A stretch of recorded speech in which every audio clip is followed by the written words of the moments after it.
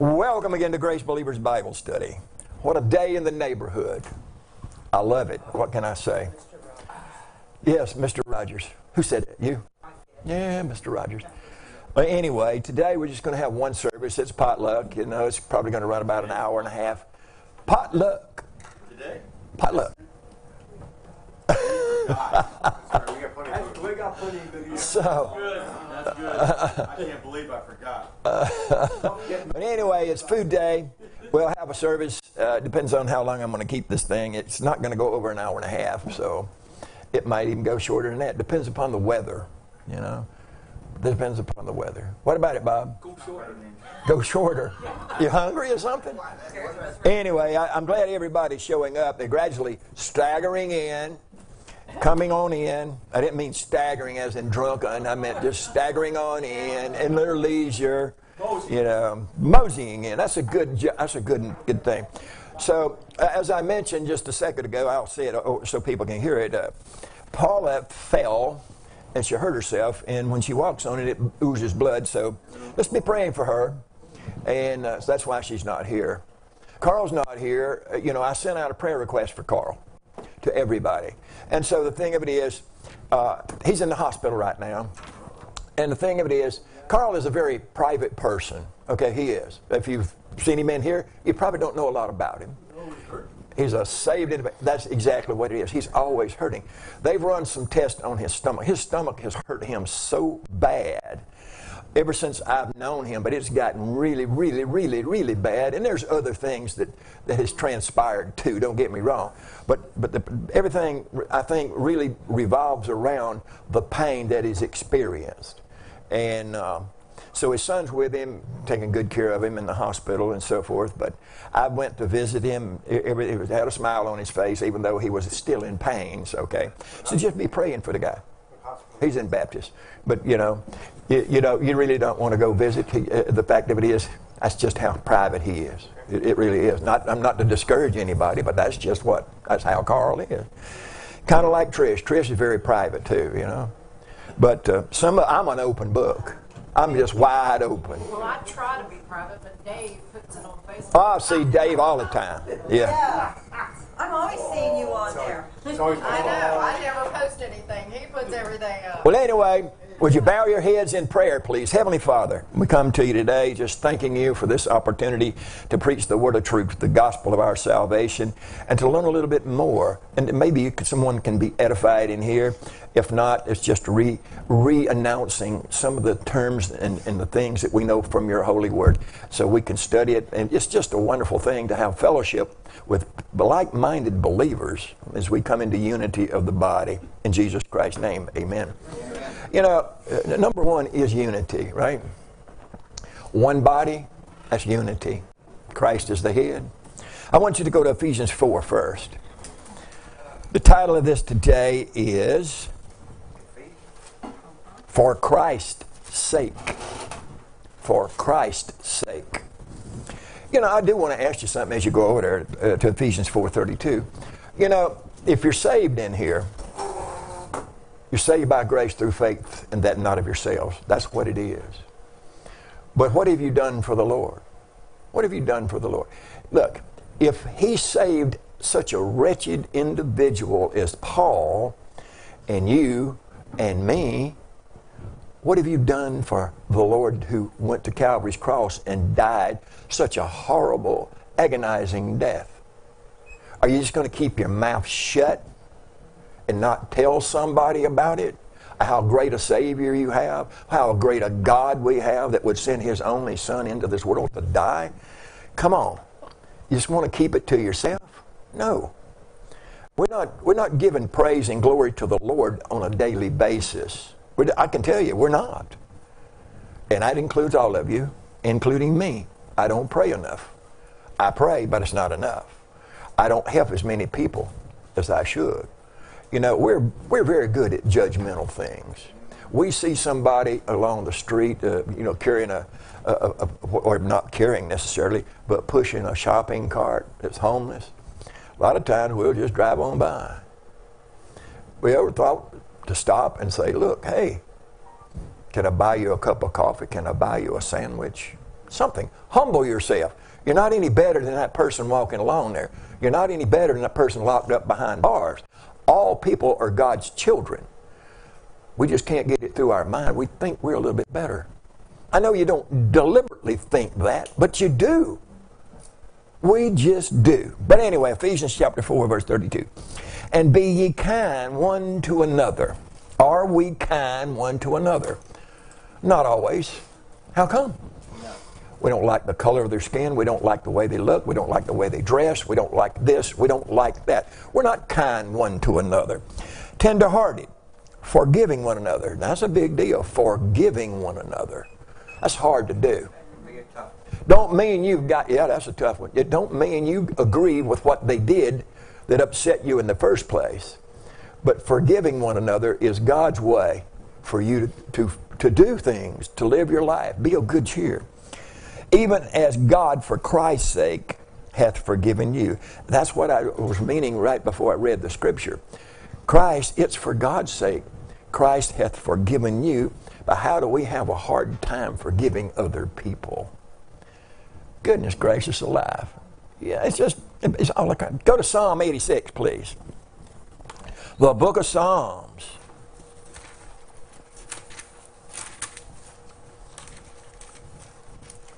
And I really, I could spend a whole hour and a half in the book of Psalms. I'll be very honest with you. I love the things that are written in the book of Psalms. 86. Let's go to verse 5.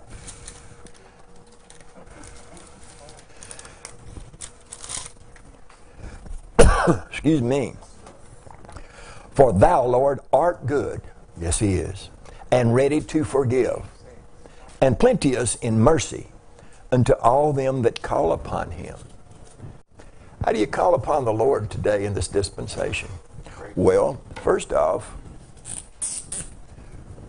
you call upon the Lord because he sent his son into this world to die for you, all of your sins. And he was buried and he was resurrected from the dead on the third day for your justification.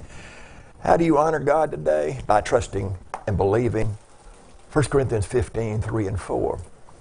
That's how you honor God. But man, that's just the beginning of things. Prior to that, you're, a belie- you're, you're, you're lost.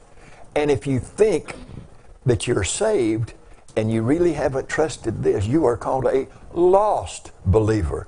Millions of the world are lost believers.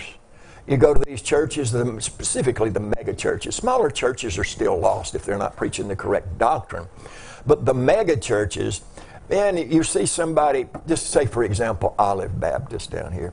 You drive down there and you see just cars everywhere, and you may think, they've got it together. That preacher in there is teaching the right thing, or they wouldn't be so many people gathered here. They don't have a clue what the gospel is. They don't have a clue. They're not in the one body. There are no new creatures. I'll say no. They, I'm sure someone is saved in that church, I guess. There's going to be some remnants in all of these churches. Someone is not going to believe the doctrine that that church preaches uh, as they going to it. They go to it because they grew up in it, or their mom and daddy was in it, or their friends are in it, and they don't want to leave it. And they're never going to learn a lot. Oh, yes, they love the singing.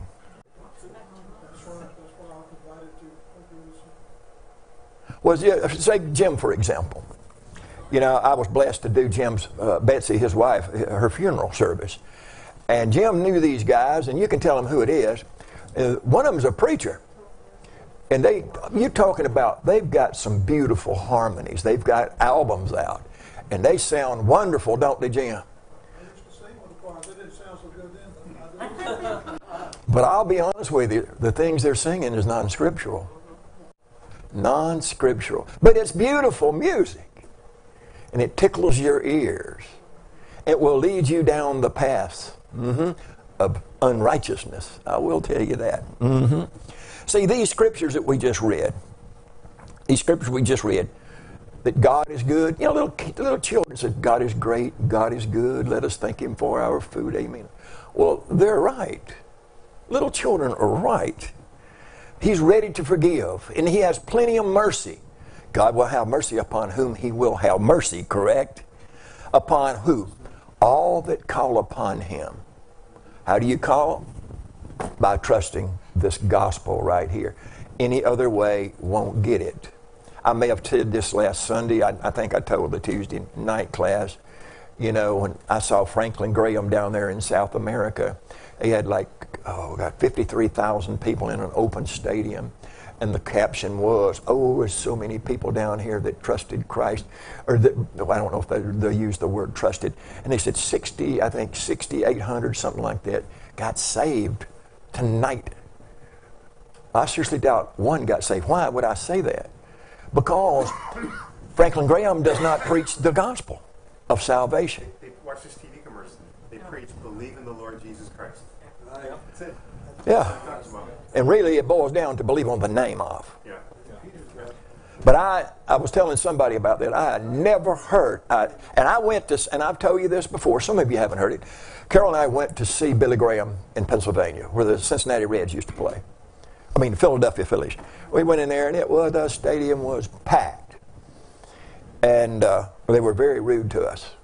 They, they wouldn't let me sit in this certain section here. They had it already set up for somebody else. So they made us move. Well, I can get over that. But then it, that altar call that he had, all those people fall, falling down the stadium, you know, just come on down, they'll wait for you. Then he looks in the camera and he says, Well, you too at home can be saved. Well, if they can be saved by watching television, how come they couldn't be saved sitting in the stands? It's all a show, it's entertainment. It's all about filthy lucre, money. It's all about money. I'm telling you it is.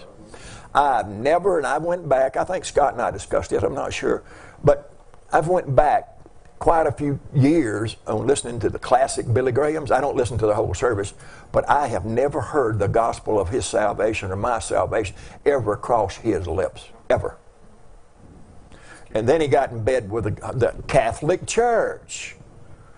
Okay, over the NIV. Okay, so anyway. So what we're going to do today, we're going to look at what the Bible teaches about salvation and forgiveness. Living where?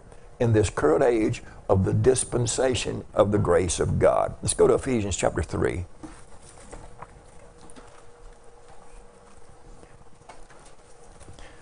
Ephesians chapter 3.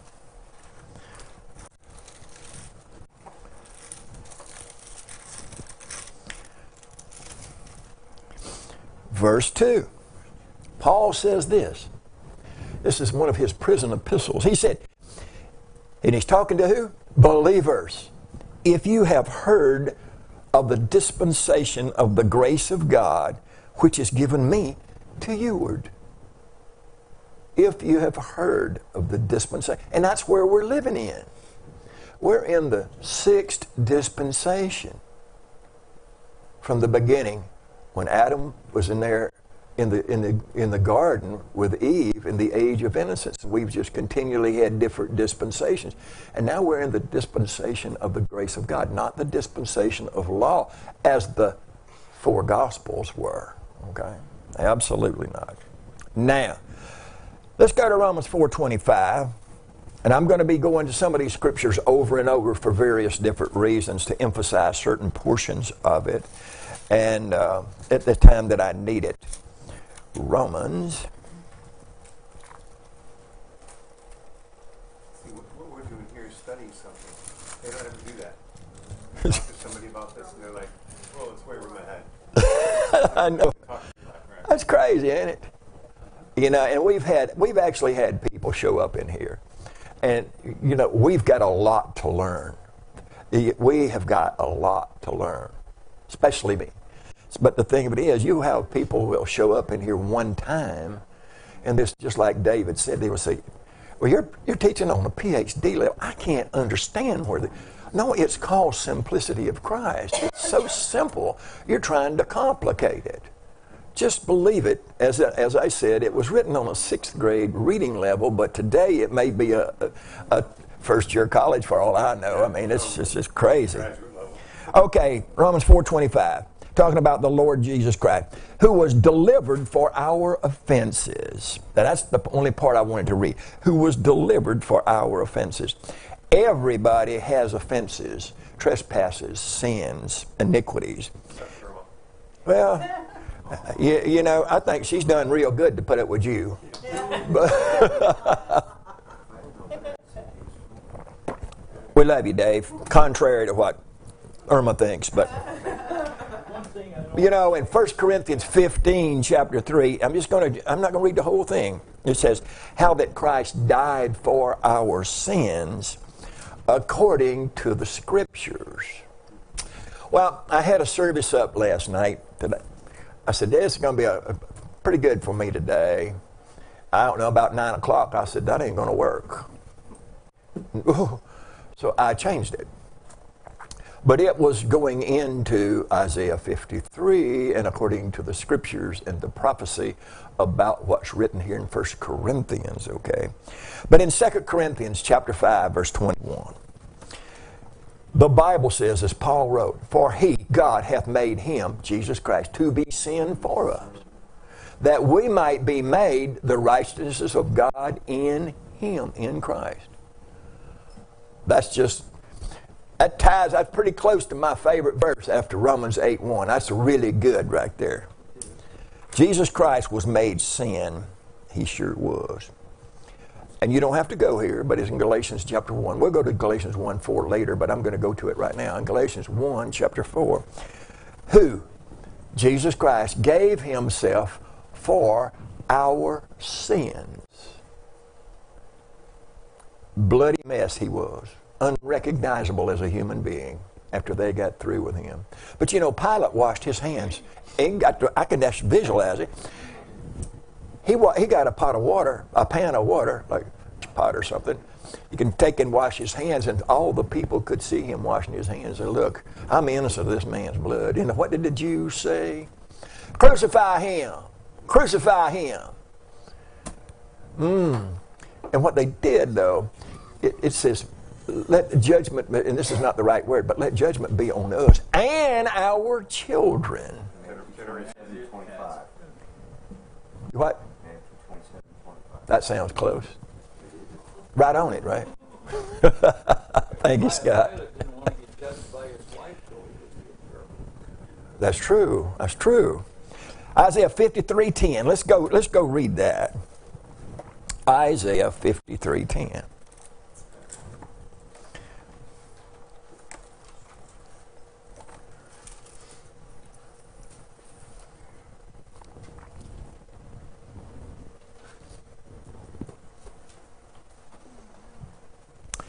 The scripture says, Yet it pleased the Lord, the Lord God, to bruise him. Who is him?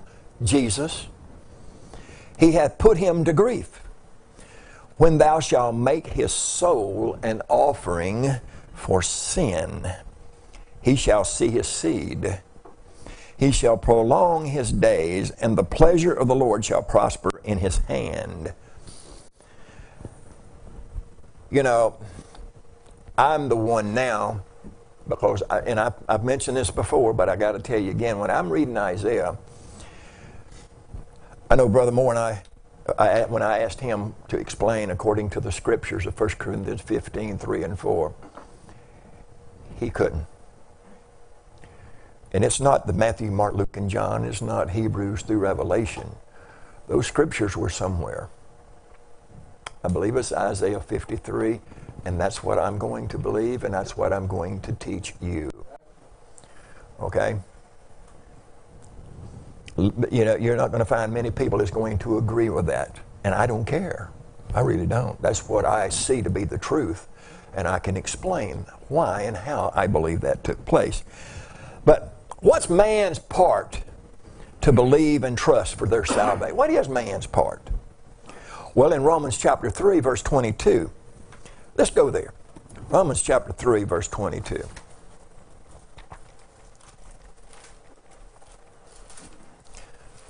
We have a part.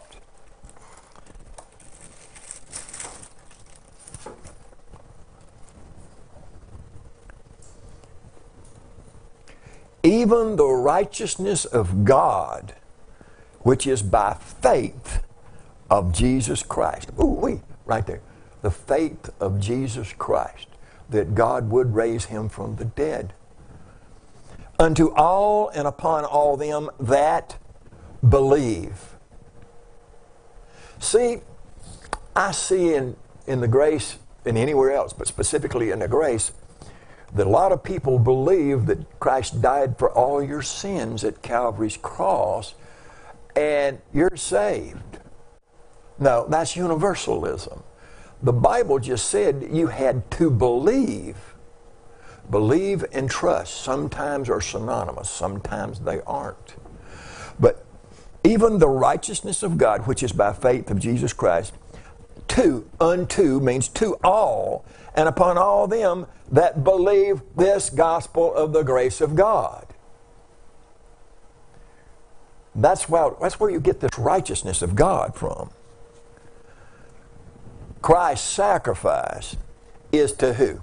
To everybody on behalf of all mankind.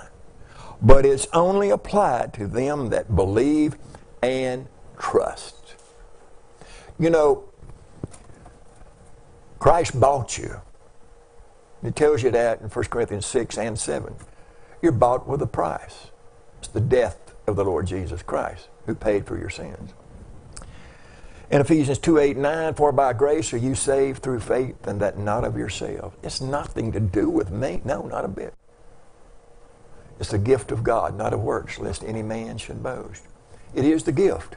That's, that's where religion has a big problem because they believe Jesus died. Yeah. But they have no idea why. Yeah, so it's just, well, believe that believe in Jesus. Believe, you know, they lost it totally. No personal or there's no trust. You know what gets me, Dave, is, is, is the thing is, it's a gift. Now, you can't work for a gift. If you do, it's not called a gift. Now you can go over to Romans chapter 5 and read that again and again and again. You can go to Romans 6:23. For the wages of sin is what? Death. But the gift is eternal life through Jesus Christ our Lord. But it's the gift. I think people don't understand it. It's just like you heard Carol say one time whenever I give my nephew, or great nephew over here, I give him an, a Fender amplifier, a really nice one. And when I give it to him, it was his birthday, and I didn't know it was his birthday. It just happened to be. And he says, What, what do I owe you for it? I said, Leland, it's a gift. You don't pay for a gift. If people could understand that in these churches, I think it would help somebody. It's a gift. You don't work for it. You can't do anything to please God in the flesh. But you can't control the people with that. That's. That's true. You can't control people with a gift. You want them to work. And tithe, tithe, tithe.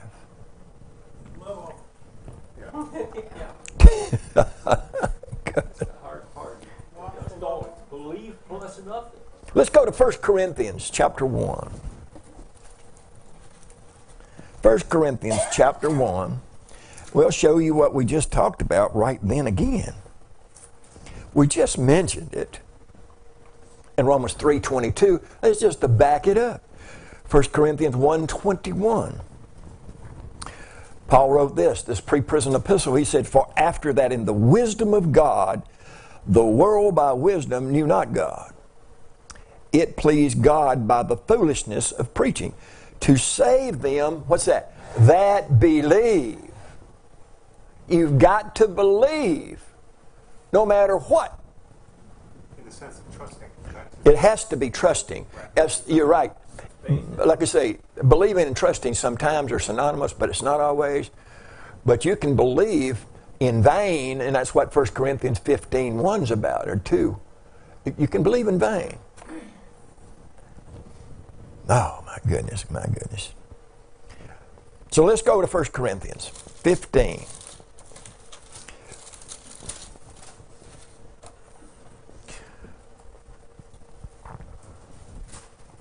So once a person hears the gospel, now which gospel? There's a lot of gospels. The gospel of the grace of God, the gospel for this dispensation that we're living in. God's the same, Hebrews, I think, 11 8. God's the same yesterday, today, and forever.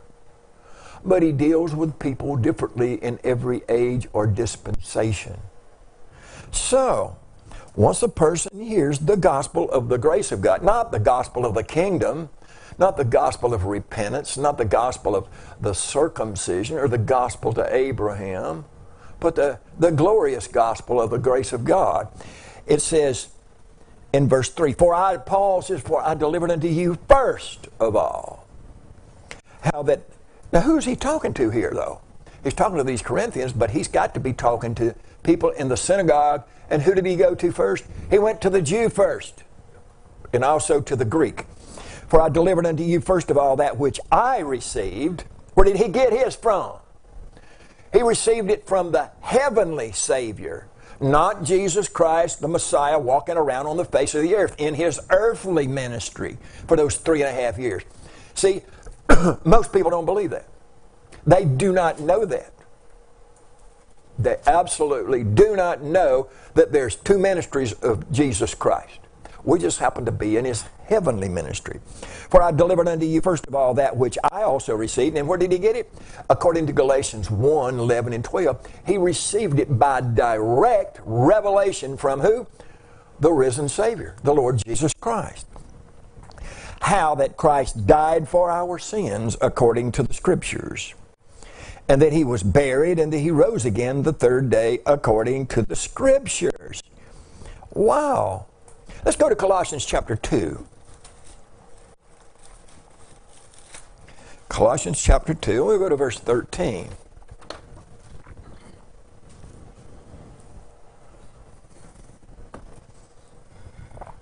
The Bible says this in verse 13, and you, being dead in your sins. Why were you dead in your sins? Because when God told Adam over there in Genesis 2:17 that you can eat of any tree in the garden, but don't eat of the tree of the fruit of knowledge of good and evil. Oh, he disobeyed God, sin came into the world. I don't know what it says. Uh, it doesn't say fruit. Okay. Well, I know what it is, but we, that's another story. Yeah, she said fruit. So we re- reiterated.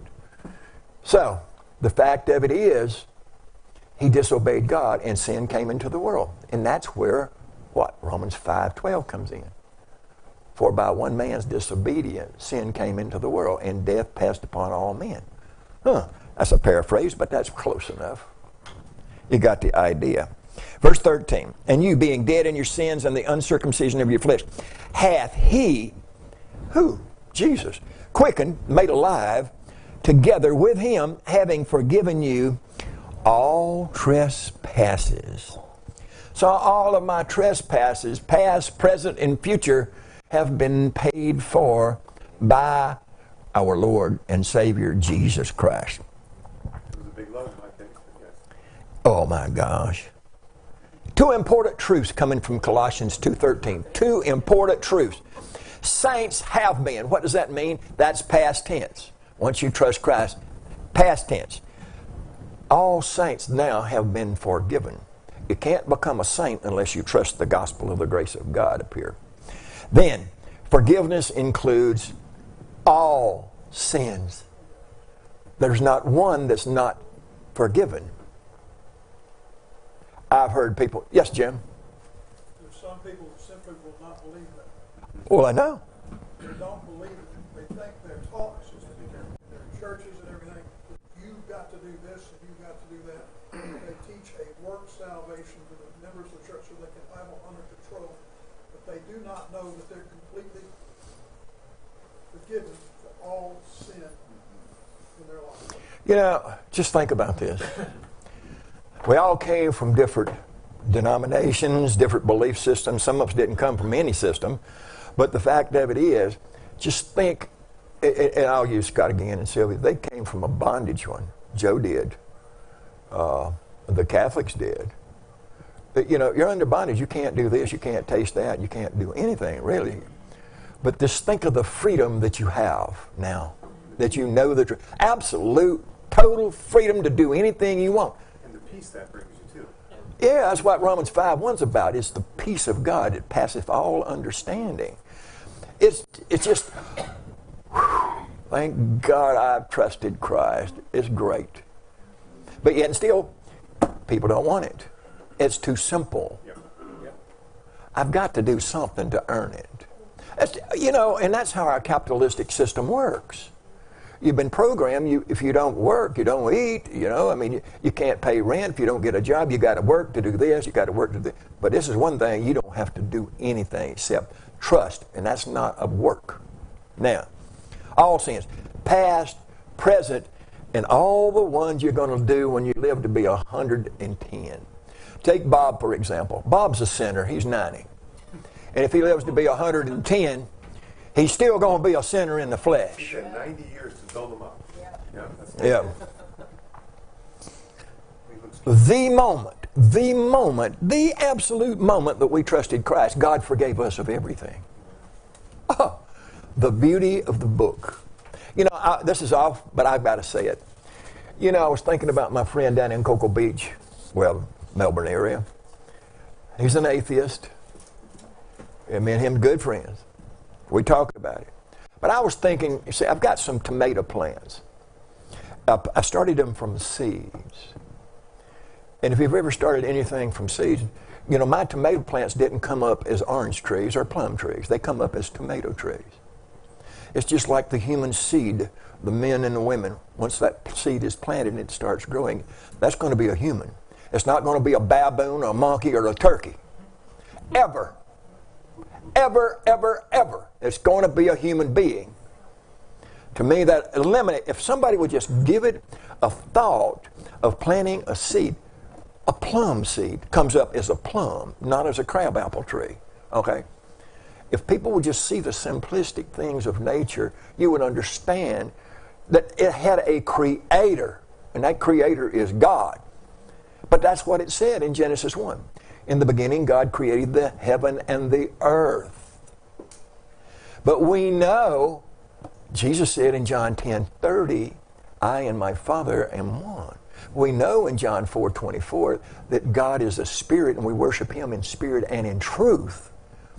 So Jesus Christ, according, and we might get to this, I don't know if it's in this lesson or not, but it's first, it's John chapter 1, verse 14. Jesus came in the flesh as God, really. Now, I'm going to tell you what I think. This, this is not scriptural, but it's. It, see, I believe Jesus Christ was here before. Absolutely. I'm not saying he was Melchizedek, but you can't say that he wasn't. No father, no mother.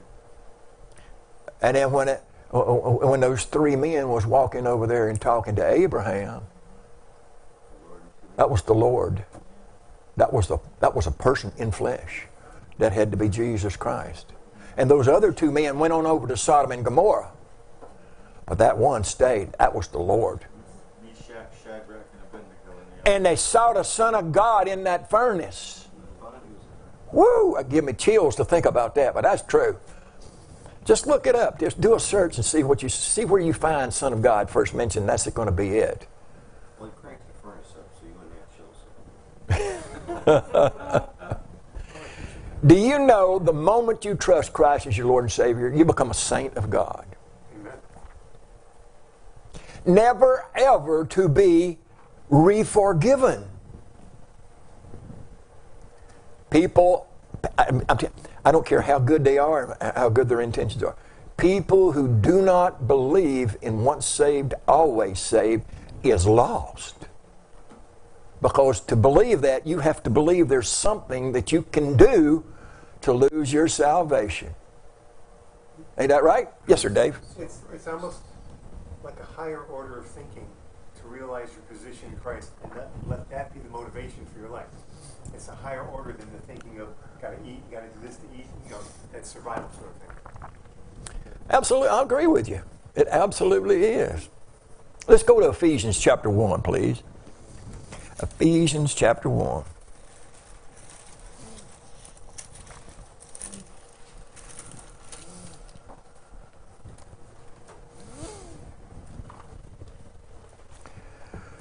Verse 7.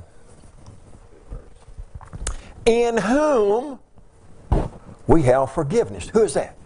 Jesus Christ, in his blood. Doesn't say forgiveness. Redemption. Then what I say? Forgiveness? In whom we have redemption through his blood. You know, I wasn't reading it or I would have said that. But can't get to your work.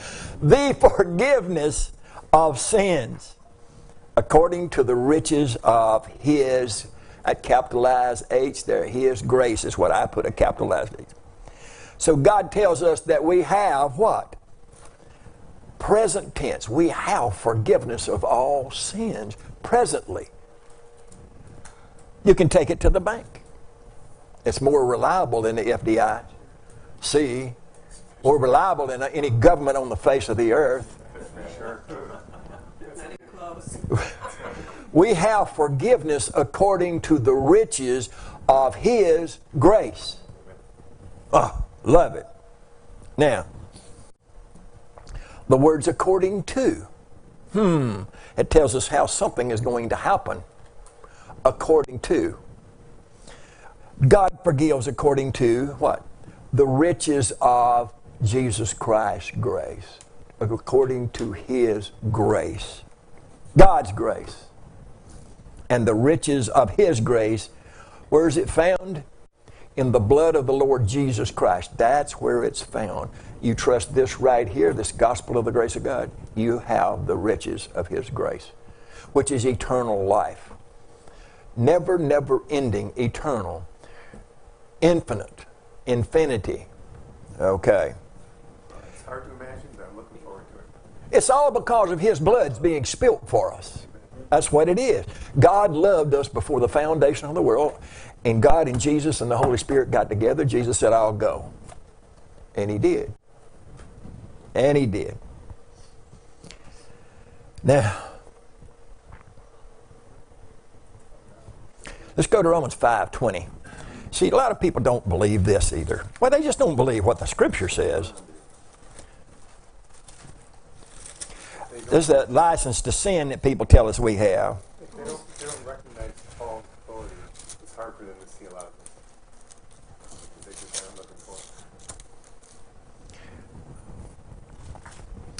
Well, I see the the problem is tradition. Uh, I was just telling Dave uh, and and and uh, Bob here about a man that I've read a lot of his. I got his library and I've read a lot of his stuff, and he's got so much wrong. He was a grace believer, but on the other hand, he has so much right. So you got to be, how can you tell, how can you discern what to believe and what not to? It's because you, better get into this to find out. Because if you're, and that's what happens in these churches, uh, the preacher will get up there and you know, say he went to Liberty University, Oral Roberts University, and he's got that PhD of theology out there on him and or a master's in the, uh, divinity or whatever. And man, this guy, you never got none of that. Maybe you just finished high school.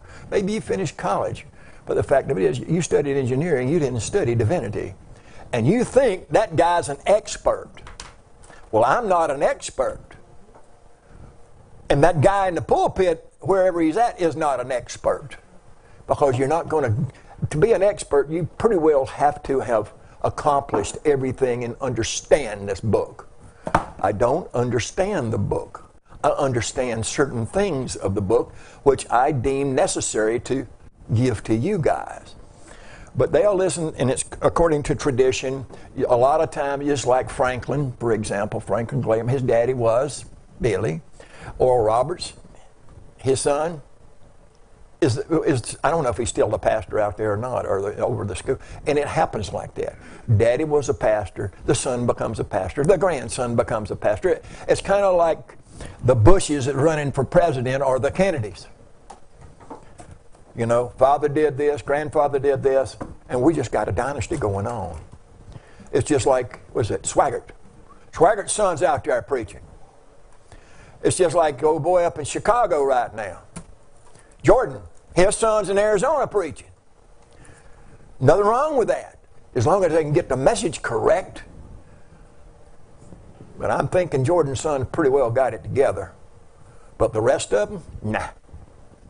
You got how are you going to know what's right or wrong if a man if I'm standing up here telling you some stuff, how are you going to know if I'm telling you the truth?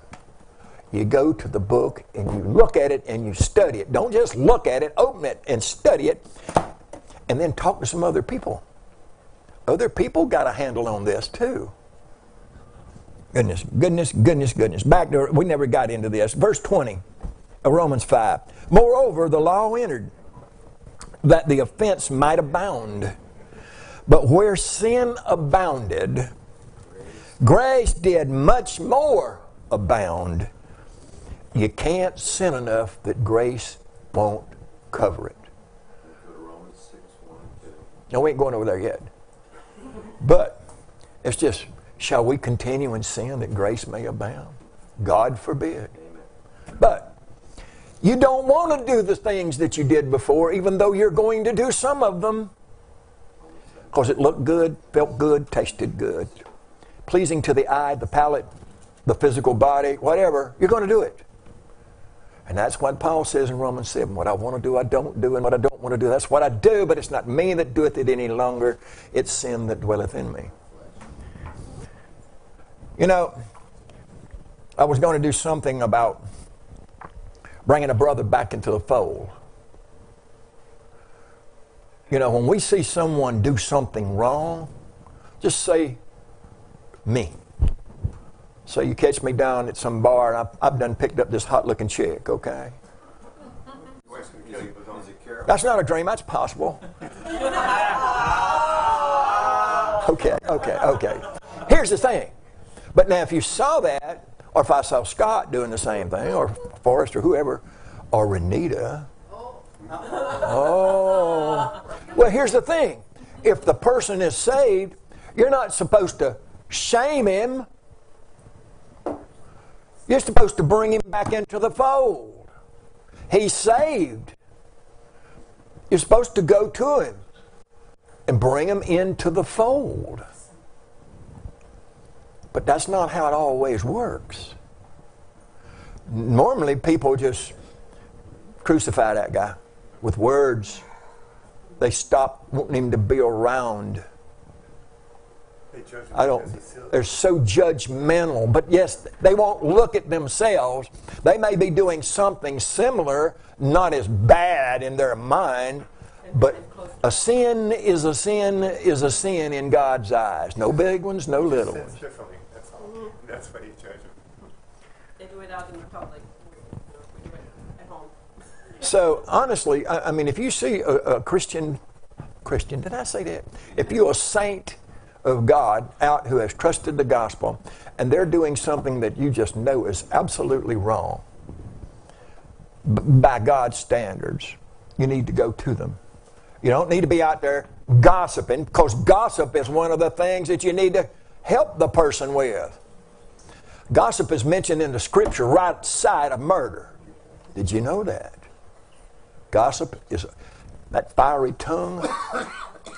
You can't pull it back in and put it in here. You've done said it. Hmm. Anyway, this license to sin, I, I've heard that. I'm just sick of that. A license to sin is whenever you walk the aisle for Jesus, you supposedly, supposedly trusted Christ. And then next week, you've done something, and now they want you to come back up and confess your sins and rededicate your life and let everybody know about it and be exposed in front of everybody. That's not the way to do it. Yes, sir. When uh, Les Feldick puts out what he says is it's not a license to sin. Is what he's trying to say. Just because you've been saved, you shouldn't just go out and have a great time. And- not, he's not saying it's a license to sin. I don't think I've ever heard anybody say it's a license to sin. But we could. Oh, I have. But we could. We could.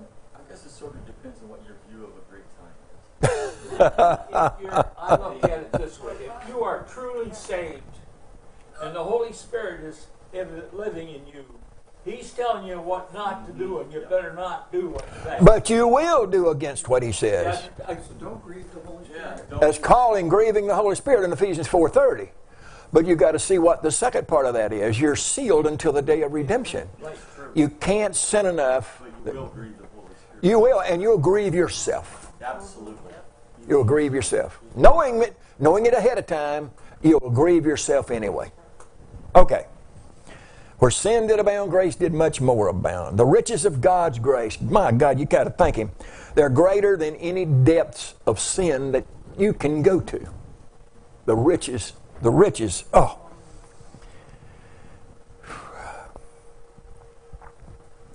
Let's go to Ephesians 4:32 again. Ephesians 4:32 again. I used to watch Brother Moore use the same scripture, not this verse, but a scripture. And Acts 16.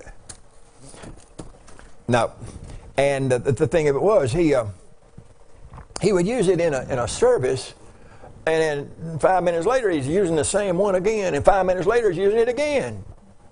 But he was talking about it, in all fit. And be ye kind one to another, tenderhearted, forgiving one another, even as God for Christ's sake hath forgiven you. Mm-mm-mm. The golden rule. But it is. Again, the word hath is past tense. You have been forgiven. You don't have to be re forgiven. You should be kind. You should be tenderhearted and forgiving because what's the reason why you should be? Because you are forgiven. God forgives because and for Christ's sake, on behalf of the Lord Jesus Christ. And that's what our title is. Christ loved you before the foundation of the world. And it's His love is the reason He went to Calvary to save you, to pay for your sins, to endure what? Agony, humility, the, un, the ultimate penalty for every sin, death. See, I can't die for your sins, and nobody in this room could die for your sins because we're all sinners. Jesus Christ was the sinless Son of God. Wow.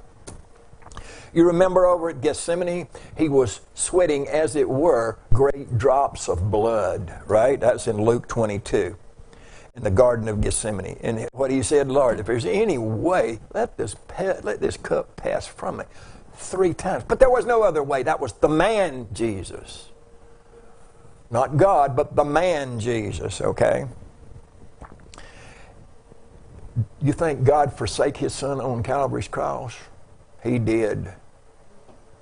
When all the sins of the world were placed upon Jesus Christ, he turned his back and the Holy Spirit left him. Wow. Holy Spirit left one. One of the first time, and I guess the only time in history that took place. When he became sin, he did satisfy the justice of a holy God. When Jesus took all the sins, he satisfied that justice that God required. The work of the cross made full payment and atonement for everything that you could ever possibly think or do. But you again and again and again and again, you have to believe. What did Christ do? He proclaimed victory. Victory. And that victory is very apparent, not to us that we saw that, but all those witnesses that saw him after the resurrection. He walked around on the earth here for another 40 days. That was the proof that it actually took place. Now, uh, the greatest trade ever. The greatest trade ever. What is that? We've read it. 2 Corinthians 5:21. For he hath made him to be sin for us who knew no sin, that we might be made the righteousness of God in him. The greatest trade ever. And There's never going to be another time in history that anything that great could take place. Ever. No way. And then on the cross, it is finished. It is finished. If you're a believer and have trusted Christ, Are you righteous? Absolutely. You're totally righteous. Now you can be called an heir of God, a son of God, heir with Jesus Christ, a son of God. There's no other way you can experience that unless you have trusted the gospel of the grace of God. Forgiveness is not, forgiveness is having been purged of all sin, cleansed from all unrighteousness. You're either righteous or you're unrighteous. And when you're born, you're unrighteous because of what Adam did eat of the tree of the knowledge of good and evil. So, yes. How many times can you be cleansed from the unrighteousness? One time. That's it. You know, they people put him back up on the cross and he has to die daily. Well, Catholic Church is all about that. That's what. What's your present standing? You have forgiveness and you have the righteousness of God placed upon your account. That's the present possession, the moment that you trust the gospel of the grace of God. That's just a given. You know, a lot of people think forgiveness is dependent upon walking the aisle, being water baptized, confessions, you name it, all these things that you have to accomplish. Okay? No. Our our forgiveness is the complete the moments that Christ is in you. And how does Christ get in you? By you trusting this gospel. You're placed in Christ, the spiritual, invisible body, the church, which Christ is the head of. And we all have unity one with another. And that's why I don't like to see a church. You've got splits over here, and they get mad about that. One people, say, there's churches out here that have a difference of opinion. Say a Baptist, for example, or a Methodist well, this, this side, they think you've got to be immersed in water totally. This side over here, sprinkling's okay. Then you got to be another section of that group. It's got to be done as an infant, you know, and they can't even get along. They forget the words of the scriptures. They're worried about baptism, and baptism has no effect in this dispensation, with the exception of the spiritual baptism of 1 Corinthians 12 13, where the Holy Spirit does all the baptizing. There is no water in it. Did you know Paul never, ever, ever, ever suggest that we confess our sins? Ever. You know, 1 John 1 9, you've got to confess your sins. But Paul, who wrote the 13 he never ever said one thing about confessing your sins. This is a complete forgiveness program that we're involved in. And it's all based upon what? The finished work of Christ at Calvary. Okay? That's what it is. And he did say this. When he died out there, he said, It is finished. So if Christ himself said, It is finished, what's lacking? Somebody tell me that. There's nothing lacking.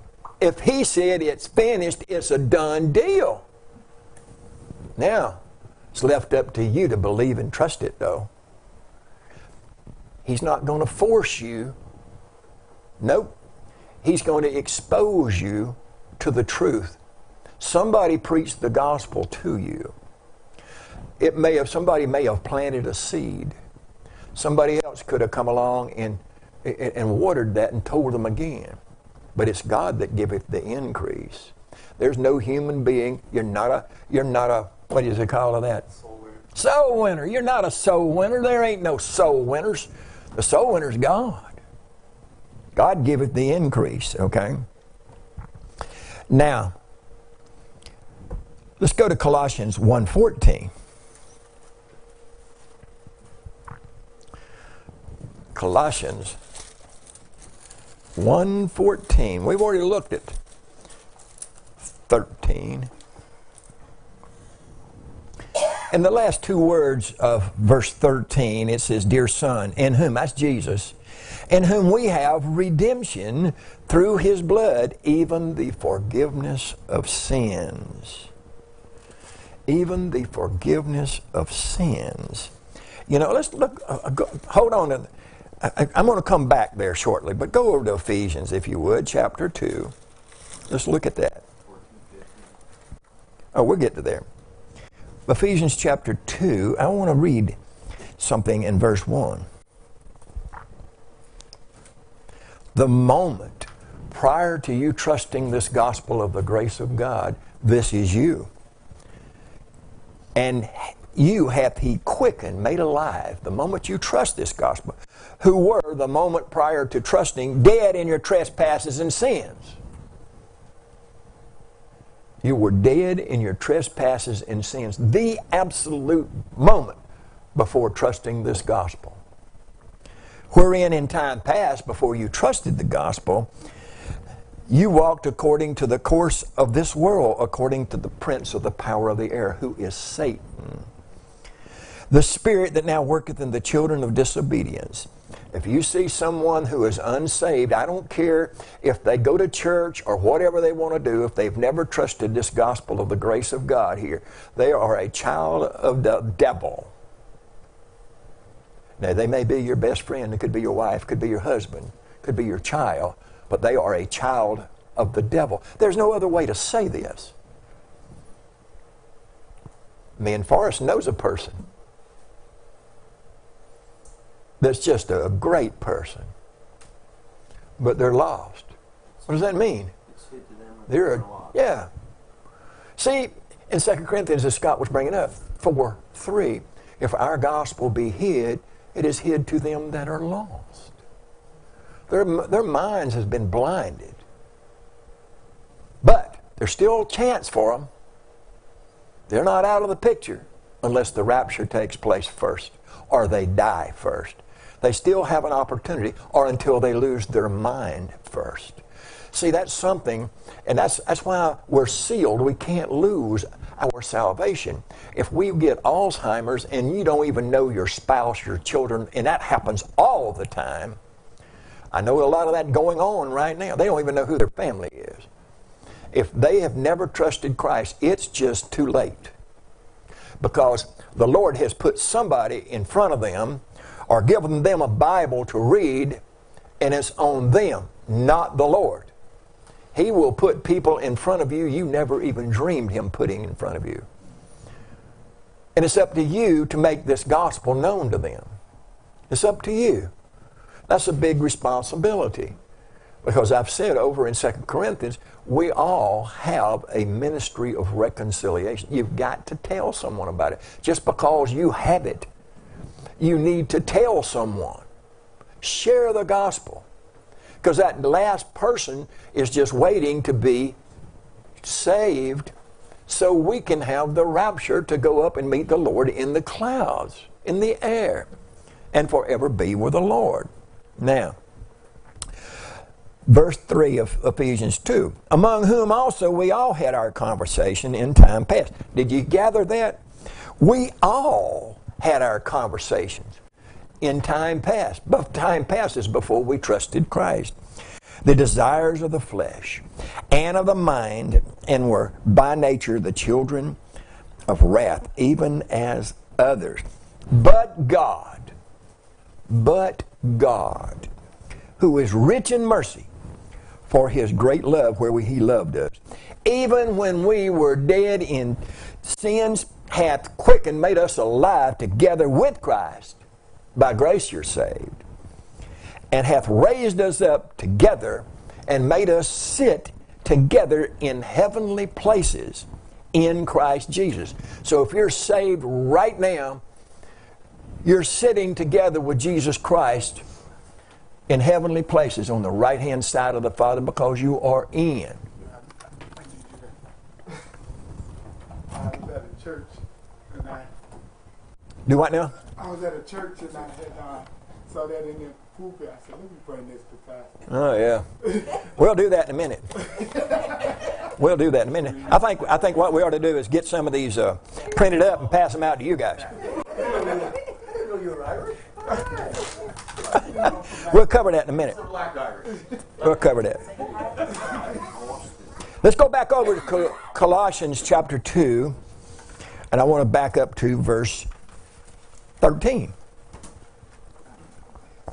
We've been redeemed. That means bought back.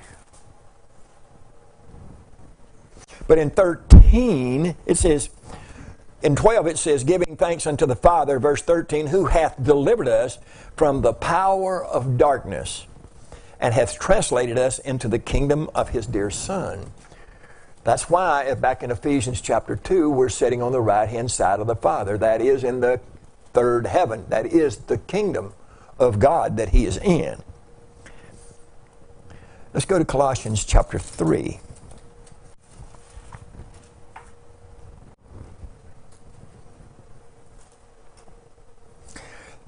This is what we're supposed to be doing, guys. Forbearing one another and forgiving one another. If any man have a quarrel against any, even as Christ forgave you, so also do you. But do we do that? Some of us hold grudges. Are you We all hold grudges. It's just a matter of whether we admit it. Yeah, but you put your car. Are we supposed to forgive other people as Christ forgive us? Absolutely we are. So if Christ suffered the agony that he did on that cross and bled out and all those things, it was unrecognizable as a human being, and he forgive you, you rotten scoundrels like me, our wretched men and women, and we can't even forgive a, a, a fellow human being that's in the body, come on, something's wrong with you. Goodness gracious alive.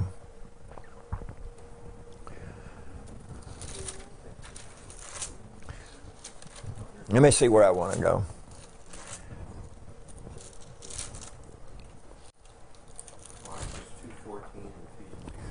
Yeah, I already got it down. Let's go to Acts 13. Acts 13. You know, when Paul started his ministry of salvation, he started it in Acts 13. And so he's telling these Jews in the synagogues this in Acts 13 38. He says, Be it known unto you, therefore, men and brethren. Now I'm going to, well, I, I, I guess I shouldn't, but I will. Men and brethren. He was talking to unbelievers at the time. The brethren I believe that he was talking to was fellow Jews, as Paul was a Jew here. Exactly. You got me? That through this man, that's Jesus Christ, is preached unto you the forgiveness of sins. First time in Acts through any of Paul's epistles that he mentioned forgiveness of sins. And by him, Jesus Christ, all that believe are justified from how many things? All things from which you could not be justified by the law of Moses. Paul says that forgiveness is a completed work of God. Listen, our work, our salvation is past tense. It's done. It's over. Glory in your salvation. Oh. God deals with his saints as those he's already forgiven. Not that he's going to, and not that you got to do something to earn his praise again. No. He's already forgiven you. See, when we believed and trusted the gospel of the grace of God, God did something. He baptized us or identified each and every one of us who trusted Christ into Christ's death. So let's go to Romans chapter 6. I, Scott, I told you I would get there. Romans chapter 6.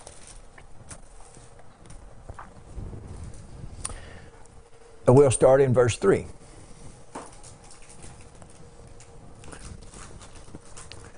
Paul says, Know you not that so many of us that were baptized, identified into Christ, Jesus, were baptized into his death? We were identified with Christ into his death. That's, that's a judicial statement because we weren't there, but judicially it took place. Verse 6 Knowing this, that our old man is crucified with him, that the body of sin might be destroyed, that henceforth, I mean, from now on, we should not serve sin. We should not, but we do. I'm going to tell you, you feed the old man, he ain't dead. He was crucified, but he ain't dead. It's who you feed, who you're going to serve. Guarantee you. Let me cut this phone off here. It's bothering me. You feed the old man, he'll stick his head up and he'll roar. I know that from experience. So you try to feed the other one. Feed yourself with the words of God. And it's still hard. There's always a wrestling match going on. The flesh lusteth against the spirit, and the spirit against the flesh. They are contrary one to the other. Just the way it is. I didn't make the rules. That's the truth. Galatians 2:20, please. Galatians 2:20.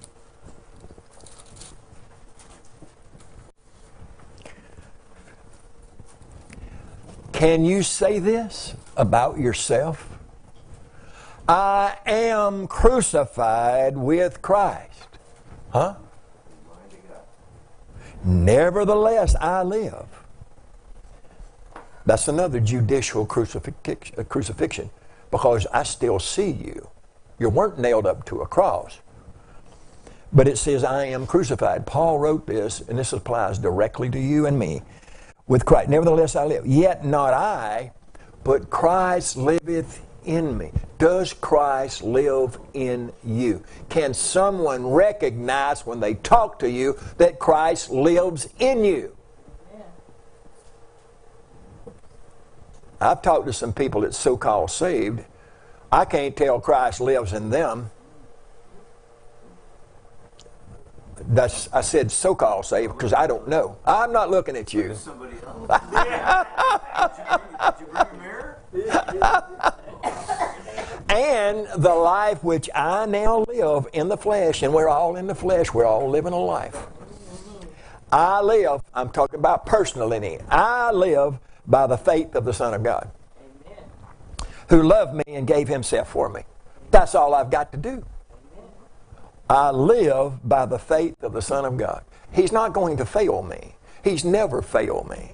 I've prayed for things, and guess what? I was lost and never, it was like, it fell on deaf ears. And even when you're saved, you can pray. But if it's, I always pray, if it's the will of the Father, that's what I do myself. God identifies the believing sinner with Christ's death.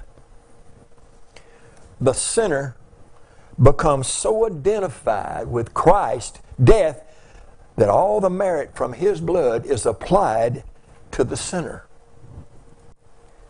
And guess what? You're still a sinner in the flesh. And you will be a sinner in the flesh until the day you die. Dead men no longer sin. That's why it says in Romans 6 11, you've got to reckon yourselves to be dead indeed also unto sin.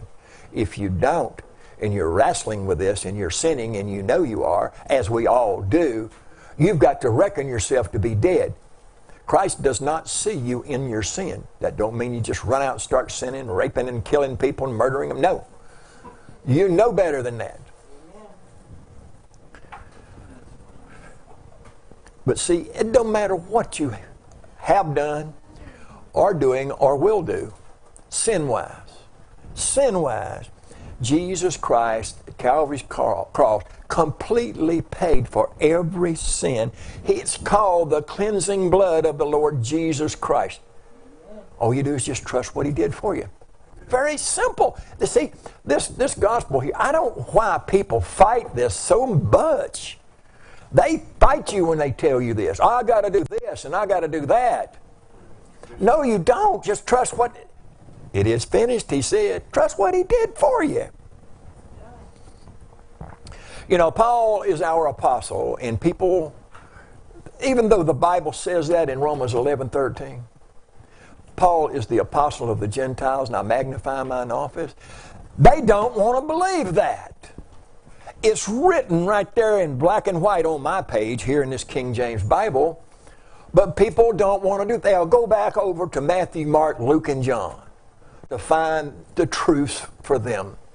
There's no truths as far as their salvation is in those four books. Now, there's some scriptures in there I call transdispensational that we make an application to our dispensation, but Paul didn't write those. It's just. Paul proclaims God's forgiveness is what? A finished work of grace by God Himself.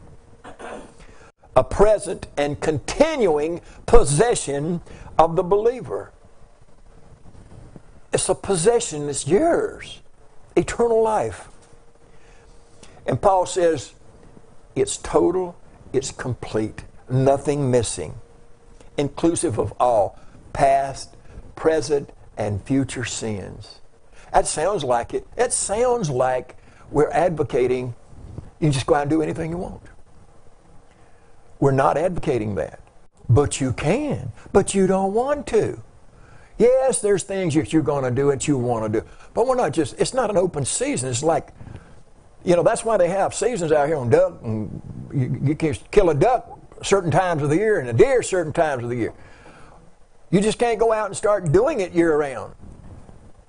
There's certain times that you will do things that are against the will of the Father but it's already been paid for. You will feel your remorse no matter how good it looks, tastes, or feels. No. Now, there's five things here that Paul explains how God is justified in providing a complete forgiveness to his saints. Number one, because Christ died for our sins. Well, that's obvious. Number two, because of the blood that Jesus Christ shed. Number three, it's according to the riches of his grace, and that's Ephesians 4.32. We've read it two or three times. Okay? It's for Christ's sake. It's because Christ became sin for us, and under that there's two subs. We are made the righteousness of God in Christ. He can't take it back. He will never take it back, no matter how despicable you turn out to be, or I. And we are justified from all things. Thank goodness for that. Paul is where we go to find our doctrine of forgiveness in this dispensation of the grace of God, and we don't go anywhere else. Now, in Paul's epistles is actually where we find some unsearchable riches of Christ. You know, we find this right here. We're not going into it, but we find this that we Gentiles, us ungodly Gentiles, couldn't be saved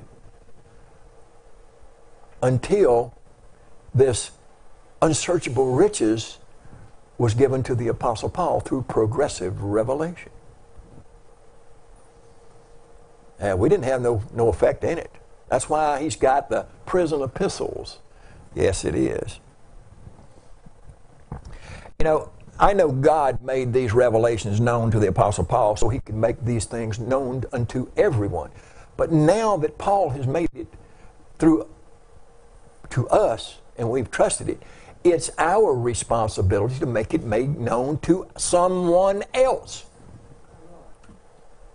It's God that said it to Paul. Paul got it. Paul taught. Now he taught us. It's written in a book, so we can get it. We're the third down with God, Paul, us, and it's up to us to show and tell and explain. If you don't know these simple, basic things that I'm talking to you about today, and this is totally simplistic, you need to study this, this video so you can sit down and explain it to someone else. If you've got a, a, a, child or a grandchild or a spouse or someone who is just arguing with you like crazy, I don't believe this, learn this. So you can just break it down into simple terms so they can get it. They're going to reject it, but show them and answer questions for them. How can you answer questions if you don't even know how you're saved in the first place? Mm-mm-mm-mm-mm. Let's go to Colossians chapter 1. Colossians chapter 1. Let's go to verse 25. Paul says, Whereof I am made a minister. Well, thank God. According to the dispensation of God, which is given me to you. And there's a reason. To fulfill the Word of God. Even the mystery which hath been hid from ages and from generations, but now is made manifest to his saints. He filled up the Word of God. He fulfilled the Word of God. Let me say that. In Ephesians 3 8, let's check it out. Ephesians 3 8.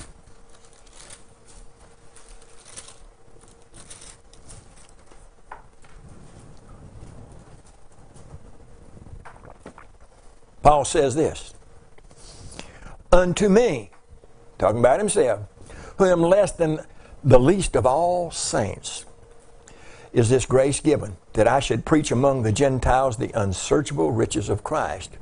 Say, we were not in no covenants of promise like the Jews and the Greeks in the synagogues.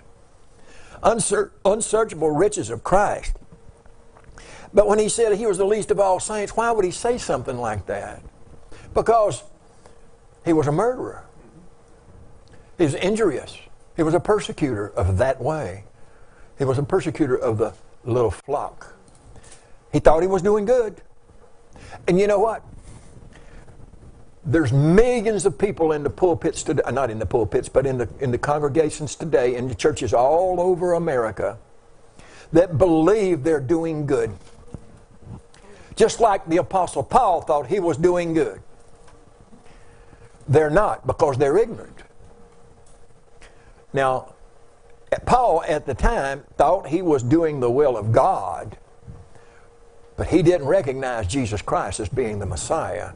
But when the risen Savior spoke to him on his road to Damascus, that changed his direction in life and it changed everything. And then it, it, through him, it let us know that we can be saved the same way as those Jews and the Greeks in the synagogues. See, we were without God, without hope in the world. There was no hope for us. The Bible says in Ephesians 2.13, 10, 11, and 12, I'm sorry, and 13. Now, let's read Ephesians chapter 3, verse 8. All right, uh, did we just read that? Let's go to Ephesians chapter 3. Verse, verse 1, we've, we've already read this one, but I'm going to read it again. For this cause I, Paul, the prisoner of Jesus Christ, for you Gentiles. He's talking about ungodly Gentiles. If you have heard of the dispensation of the grace of God, which is given me to you, word, how that by revelation he made known unto me the mystery. Well, mystery, a couple of things. One is that we could be saved into the same body and that we could be saved at all. Wow. So forgiveness before the dispensation of grace was what? It was according to the law of Moses. The law of Moses. See, many, many, many people they, they make the mistake of the mistake of going back to time past to the law of Moses for their doctrine of forgiveness. Oh, they do. Mm-mm-mm. But you know what? Instead of going into that right now, I think we're going to stop. But before we do stop, I want to go over what Ricky uh, brought up here. And uh, this, this. What you bring up there? Being bad. Come back being bad. Boy, what it is, it says Good Ship Missionary Baptist Church, Millbrook, Alabama. Reverend Dr. Derwin V. Perry, pastor. Reverend Doctor. And what it is, it's, it's something that's an envelope where you can take and you send your money up to this guy, your tithes, your offerings, one side, and you've got something here. If you, uh, other than your tithes and your offering, that's two different lines. You've got one line for the building fund, which we need to start here. All Service Day, you get to, there's money out there for that. A visitor for the revival, you need to put some money in there for the revival. Uh, Youth Day, hey, they need money. The church anniversary, you need to put money in. And then if there's any other category, you can check it and write it in of what you're giving for. And then the total of all of it added up. Paid. For a new car. Good Ship Missionary Baptist Church in Millbrook, Alabama. This is this is a common thing. This is a common thing. You go to a church, but I've never I've never quite seen that many different types of offerings. Yes, Dave. Her.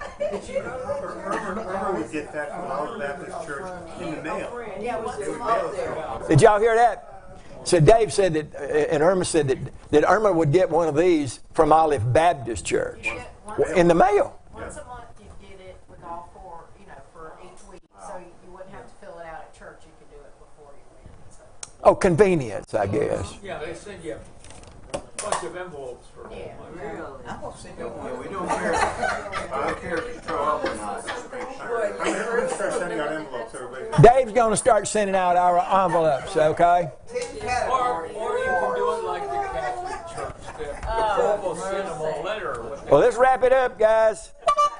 Let's take a break.